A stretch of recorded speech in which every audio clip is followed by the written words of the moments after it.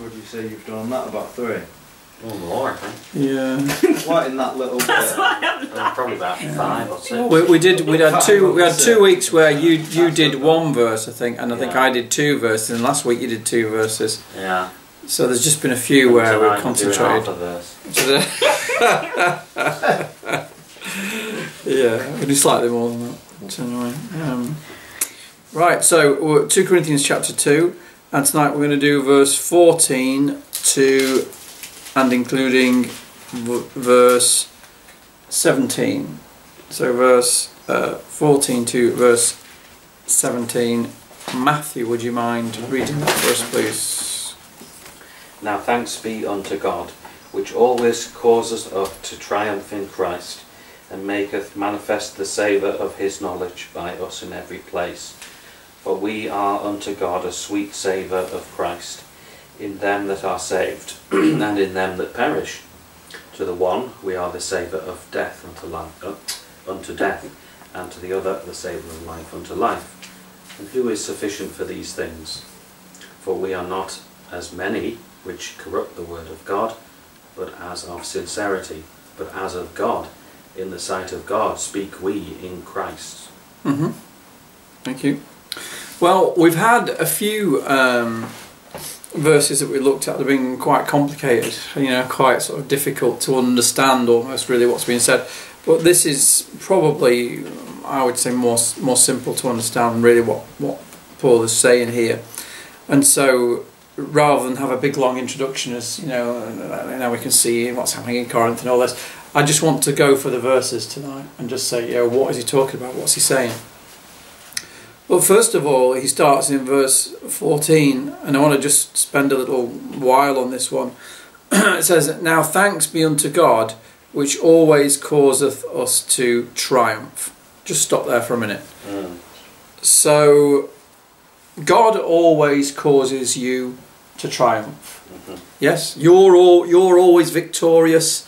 Whatever comes your way, whatever challenge, whatever temptation, God always, according to Paul, always causes us to triumph. You you you, you win every time. You never lose. You, you every time you're tempted, you always overcome it. Is is that true? Is that hands up if that's everybody's experience all the time? Oh, well, good man. Yes. Perhaps, but then again, perhaps not. Perhaps that is not every time. Whilst whilst we would like it to be every time, how come it isn't every time? You know, how come when we look back over our lives, um, there may be times where you're triumphing, but a lot of the time it seems to be, you know, fail, fail, fail, triumph, fail, fail, fail, fail, triumph. You know, it, it, a lot of times you think, I say, hang on a minute, I seem to be failing more times I'm actually triumphing here. And yet Paul says that God always causes us to triumph. So how can we how can we uh, uh, reconcile that? Let me give you an illustration. I've got a friend, a person that I know, who um, who I guess you would say made a commitment to Christ, whatever that means, um, and and his life is a total mess, right? And so we were talking one day, and I said, "Look, uh, why do you think, you know, if if you're a Christian, why do you think your life is such a mess then? You know, because I'm nice like that." But but I, I, thought, you know, what's the point in just pretending? So I just said, look, you know your life's a mess. I know it is. If you're a Christian, why do you think your life's like that? And he said, well, God sets tests for people, right, to test your faith. So I said, okay. And he said, and I failed every one of them. So that was his answer, you see. But according to Paul, yes, if God, if we accept that God does allow tests to come along, put it that way, of our faith, but according to Paul, God always causes us to triumph. What part did I leave out there? God always causeth us to triumph in Christ. And that's the big difference. That's the difference.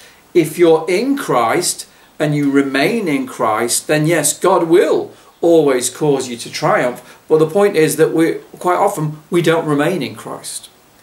We we we follow our own flesh. Uh, let's just have a look for a moment. Um, John 15. Go to John 15.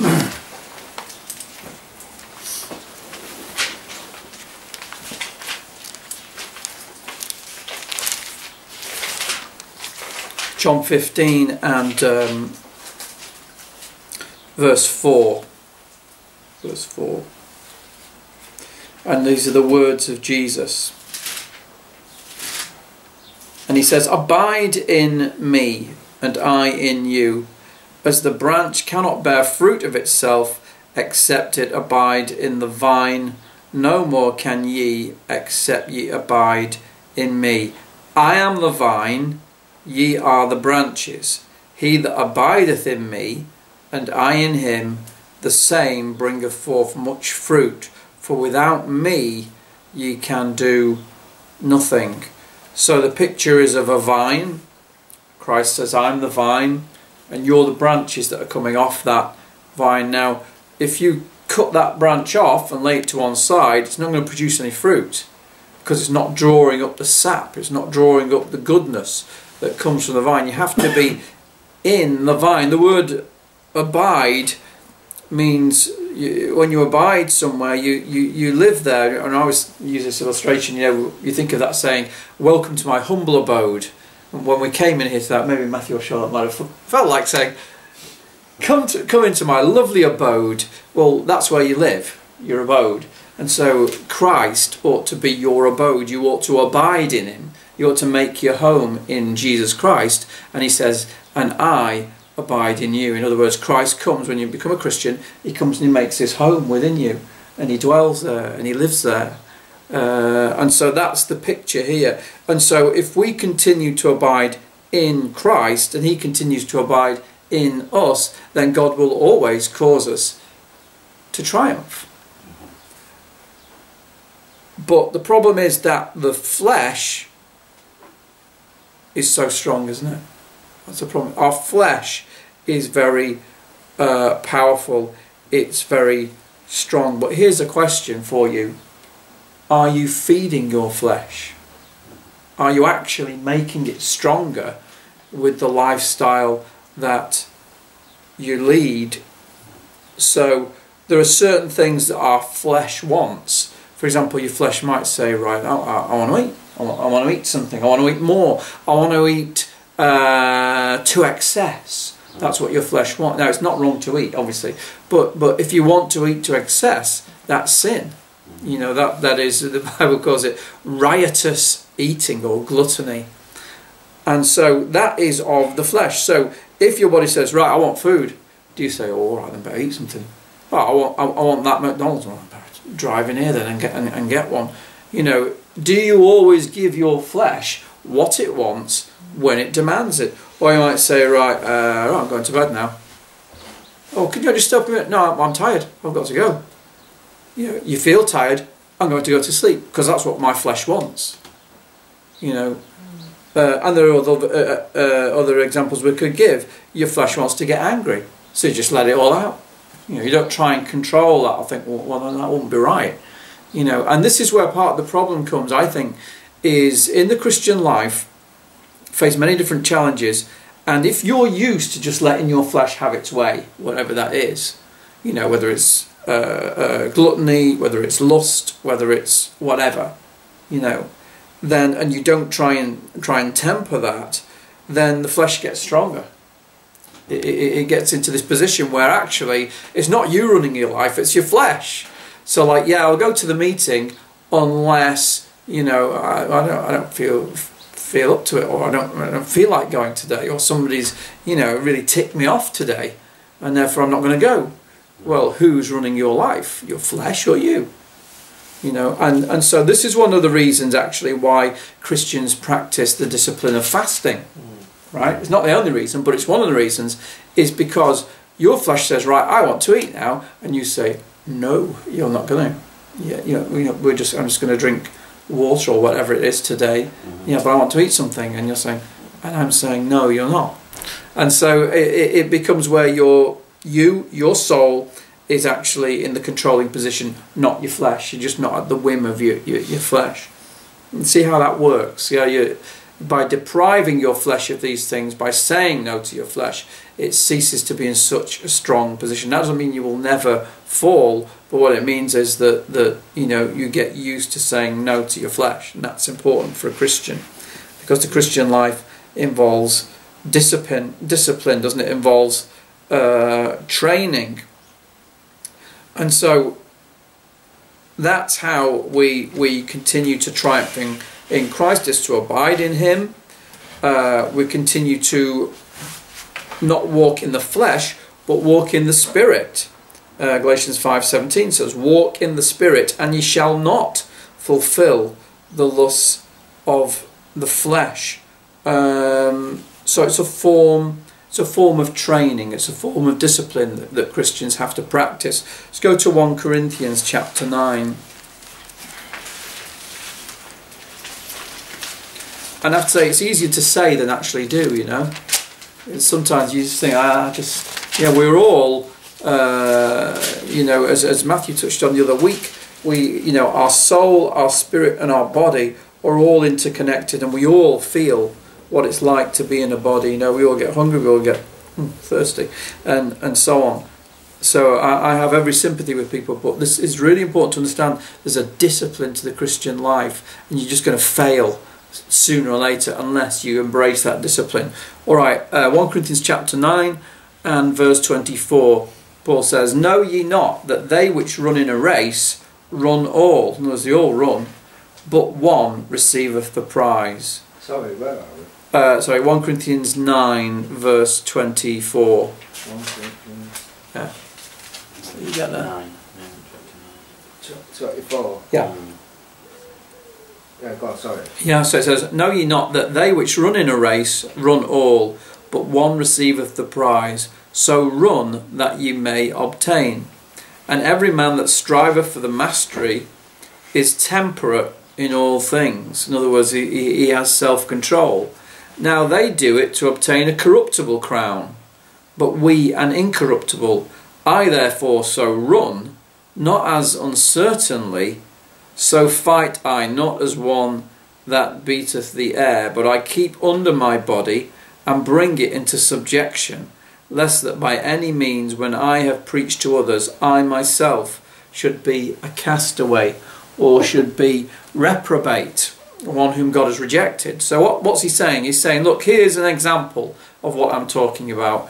When you see people running in a race, everybody runs, but only one person's going to win that top prize. Only one person's going to come at, at, at the, the head who's going to win it. And so he says, in your Christian walk, in your Christian life, train yourself like a runner.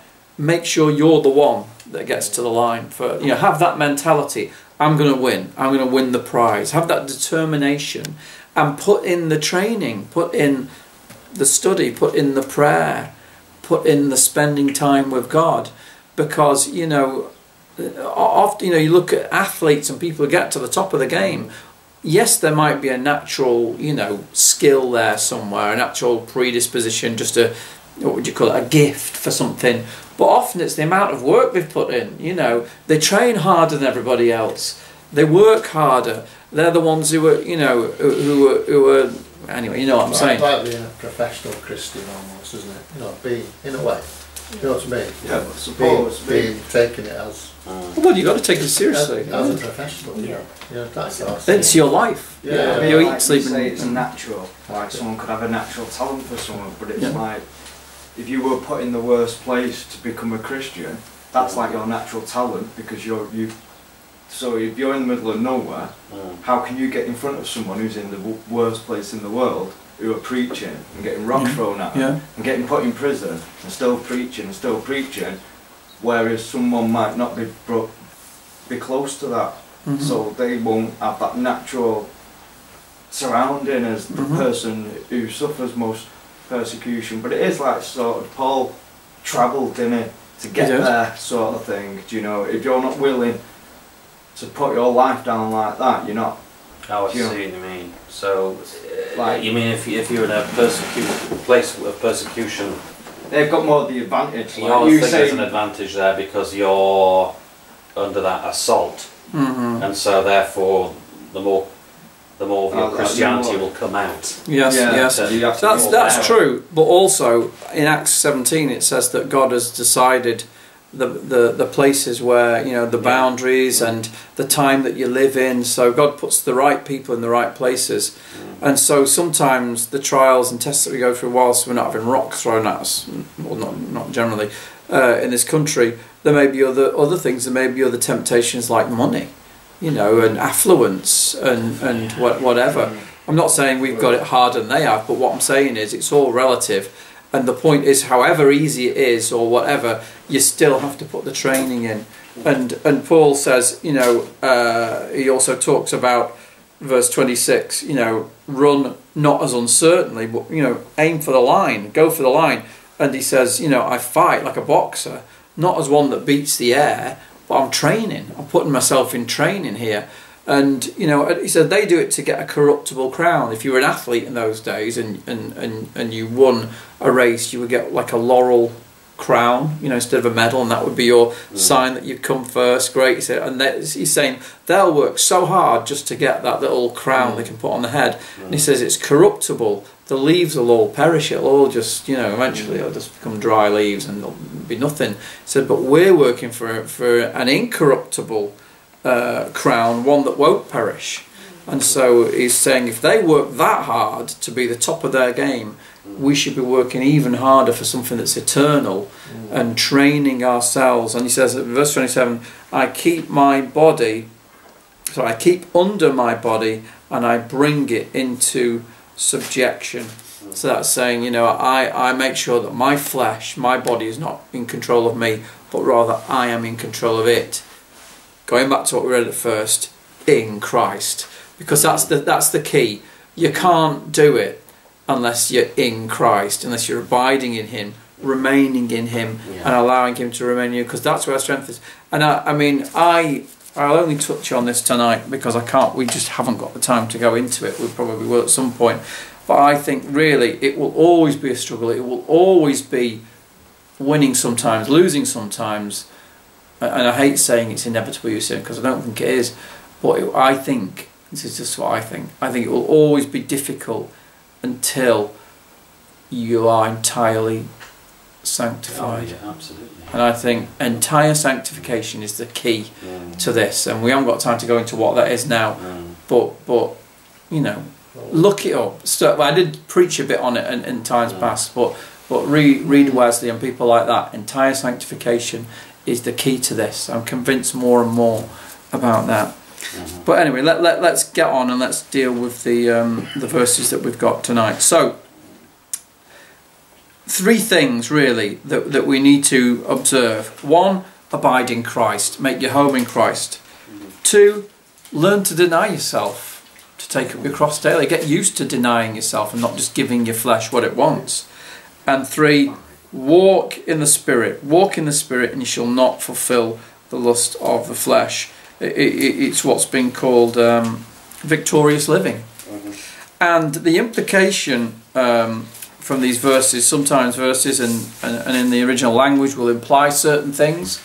Uh, and so the picture here that we have in 2 Corinthians, just flip back to 2 Corinthians, 2 Corinthians 2, uh, is of a triumphal procession, right?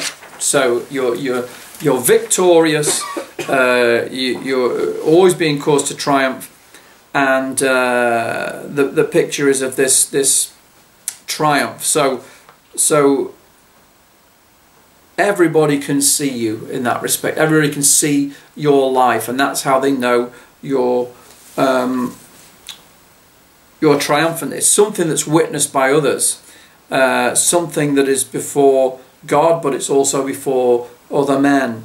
And um, James says, James two twenty four says, "You see then how that by works a man is justified, and not by faith alone." Hmm. This sounds like an odd kind of verse to visit, but it, it is very relevant to this because a lot of people will read that and say, "That can't be right." What? Justified by works? I thought. I thought Paul says we're justified by faith. Therefore, being justified by faith, we have peace with God through our Lord Jesus Christ. Romans 5, verse 1. How do you reconcile that? James is saying we're justified by works. Paul in Romans 5 1 is saying we're justified by faith. This is the answer, okay? Mm. Before God, we're justified by faith alone because God sees the heart. Before men, we're justified by our works because that's what they see. Because they can't see your heart. That's why James talks about, yeah, you, you say you've got faith, well, I'll show you my faith by what I do, by my works. Right? And so this is the, the context, or this is the implication of the words we've been looking at in 2 Corinthians, is here is a person in a triumphal procession. It's a triumphal procession of the victor. And one of the things that they used to do, in, in particularly in the Middle East and so on at this time, was as you were you were the victor and you were marching through the streets with this great procession, they would light incense. Yeah, and and the incense, the smoke from the incense would waft amongst the crowds, and people would be able to to smell it, and, and, and you can smell it coming up. Here he comes now, here he is. The crowd will be cheering, and yeah, yeah, I can smell the incense. He's coming, he's coming. And then they'd see him, and he'd go past, and the incense would just, would just kind of linger. And what Paul is saying is something quite interesting here. It's almost sort of poetic, but he says, in the end of verse 14 there, he says, uh, uh, Now thanks be to God, which always causeth us to triumph in Christ and maketh manifest, or, or it makes obvious or apparent, the savour of his knowledge by us in every place. Now, the savour is, if you like, the odour or the smell, just like the smell of that incense. And Paul's saying, look, it, it, when we triumph, it's like it's like almost like the smell of the knowledge of God. He's getting a bit poetic here, really, with us, but he's saying that knowledge of God is like a smell that, that, that lingers. And he says, For we are unto God a sweet savour, a sweet smell of Christ in them that are saved and in them that perish. To the one we are the savour of death unto death, and to the other the savour of life unto life. So, what's that saying? He's saying that when we're obedient to Christ, when, when we triumph in God, uh, we are to God the sweet savour of Christ. With the same, with the same odour, if you like, for want of a word, to those who are being saved or to those who are perishing. This is the same smell, but it has a different effect upon people. So when we come with, with, with our triumph in Christ, with our knowledge of Christ, which is what it's saying, in other words, the gospel, to some the smell of that is something sweet, and to others it, it's something foul. I mean, uh, this is a bit of a, a, a cockeyed illustration, but uh, the other day I was walking through Stockport and you could smell that someone had been been smoking marijuana. You know, I mean, it's really pungent, isn't it? Now the smells of it, and the people weren't there anymore; they're gone. But the smell was still there, and I was walking through there. And I was thinking, "Oh, that stinks," because I know what it is. But to other people, they'd be walking through going, "Oh yeah, I could do some of that." You know, they're, they're like, to them, it's a sweet smell. Now, I'm not comparing Christ to marijuana, but what I'm saying is it's the same smell, isn't it? But it affects two different sorts of people in a different way. And it's the same with the gospel. If you want salvation, if you're seeking God and you hear the gospel, you think, why is that wonderful, sweet smell? It's Christ. It's the knowledge of God. It's sweet to me. But if you don't want Jesus Christ, if you don't, you think, oh, what's this horrible, mm. horrible, you know, preaching? I can't mm. stand it. It's almost like, uh, makes me sick. You know, it's an extreme uh, uh, illustration of, of, of what it is, isn't it?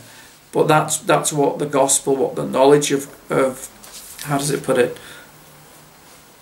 Uh, the savour of His, that is Christ's knowledge, is like that to people, and those who to those who refuse it, it, it is it is an offensive smell and it will lead them from death to death from spiritual death to what the Bible calls the second death that will lead to their eternal destruction you know they're already dead in their trespasses and sins uh, it says in Ephesians, I think. Uh, so they will, it will lead them on to what the Bible calls the second death in the lake of fire. But to those who uh, who who who have life. Well, for those who are seeking life, it will bring spiritual life to them, and that spiritual life will lead them on to eternal life. So it's from life to life. Um, so, coming down now then to the next, uh, to the end of that verse, and who is sufficient for these things? Paul says. So who, you know, this this is a great responsibility, isn't it? To take something which is to some people death, and to other people life. What a great weighty uh, responsibility. Who is sufficient? to, to be able to take a message like that, to be able to take that that odor, if you like, that that to train for this, and then to have the responsibility of that. Who's sufficient? Well, well, no one's sufficient. That was the whole point of the fir- first verse that we read there. Only God is sufficient. Yeah, and that's and that's really, uh, really what is being said here. It, it is actually God who is sufficient. He is our sufficiency, isn't he? by abiding in Christ, then he becomes uh, the the sufficiency. Verse verse seventeen, the last verse there. Uh, Paul then says, "For we are not as many which corrupt the word of God." You know, he says uh, when we when we take the word of God out, we've not we've not corrupted it. And again, there is a there is a sense or a meaning behind that word corrupt. Uh, uh, another word you could put there would be adulterate, and um, the picture is of a, um, what do you call it, like a, a dishonest merchant. So, for example, in those days when they used to sell wine, uh, you, you wouldn't get just wine in your bottle. There'd be wine bit of watering down going on there. You know, add a few other things to it. So so you you know they're trying to kind of slip one past you. They're mixing it with other things. And Paul says. Uh, we don't corrupt the word of God. In other words, we don't mix it with something else. We don't water it down. So when you come to us and you hear us preach, Paul's saying you get it's pure. You get the pure word of God. It's not it's not mixed with something else. You know, it's not to make it more palatable to you or to make it go further. We're just going to mix it with something. No, said you, it, it's pure what you're hearing. It's absolutely pure, and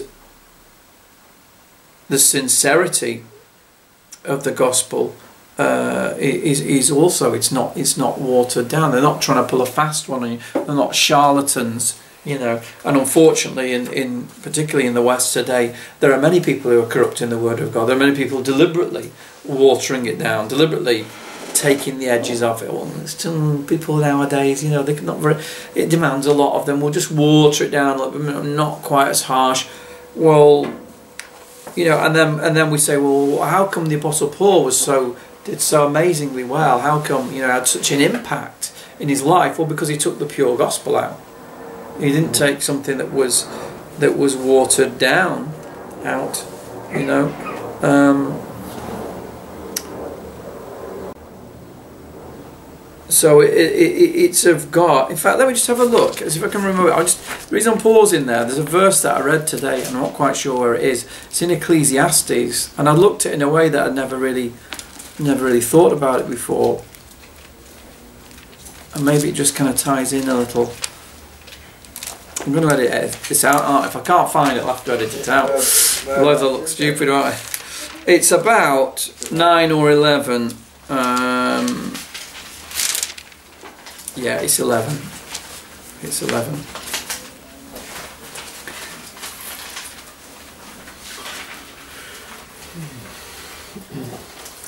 Okay, Yeah, so what's that? What, what, what book is it? in? Ecclesiastes. No, it's only uh, Old Testament. Oh, is it? Oh, is that that one we went, was in, near the sign? Yeah. Yeah. It's got all the names on Oh, yeah, the one with the. What Oh, chapter yeah, yeah, yeah. Chapter 11. Today. Hmm. Chapter 11. Hmm. And it's like a lot of Ecclesiastes, it's written in a slightly poetic style, but I'll kind of, I'll just deal with the, the relevant pieces of scripture here. So it says, Cast thy bread upon the waters. Okay. The picture here is someone casting bread out on the waters. Stick with me. All will become clear in a moment, hopefully. Okay. Verse 3 uh, If the clouds be full of rain, they empty themselves upon the earth. So, a cloud's got something that's full of rain, the rain comes out, doesn't it? And, and it, it goes on the dry land, or it goes on farmland, or it goes wherever, doesn't it? It just it just goes. When, when it's ready for the cloud to drop its rain, it just lands on whatever kind of uh, uh, ground there is. Uh, he that observeth the wind, verse 4, shall not sow, and he that regardeth the clouds shall not reap. So if you're there looking and, oh, well, you know, the clouds don't look quite right, it's not really the right kind of day, I don't think it's very going to be a very good day for sowing today, so better not sow, and, you know, um, because this is the key now, verse 5 As thou knowest not what is the way of the Spirit, nor how the bones do grow in the womb of her that is with child, even so thou knowest not the works of God who maketh all. Now, why, why is this relevant? Okay, the first picture is someone casting their bread out in the waters, they're just chucking it there, chucking it out there. The next picture is of clouds coming along, they're full of rain, they just let the rain go and that's it and it goes sometimes it goes on dry land dusty land where nothing grows other times it grows on farmland and, and you see you know great produce um, if you stand there worrying about well you know should I preach the gospel here? Is it really right? I don't think there's very much of a response here. Well then what's the point of doing it? Nobody ever listens over here. Maybe if it's in another country maybe they listen there. You know if you're out preaching the gospel you think of stuff like this. You know well maybe it's maybe it's Stockport or maybe it's but here's the, the key, verse 5, and it, it ties in with what we're looking at really tonight. Um, As thou knowest not what is the way of the Spirit, you don't know what the Spirit of God is doing in people's hearts. Yeah? You don't even know how a body comes together in the womb and how God makes it all knit together, but He does it. And and it's hidden, isn't it? You can't. I mean, now we have like you know ultrasound, not ultrasound, what they call scans and all that kind of stuff. But he's saying you don't really know how all that stuff works, but God does, and you can't see.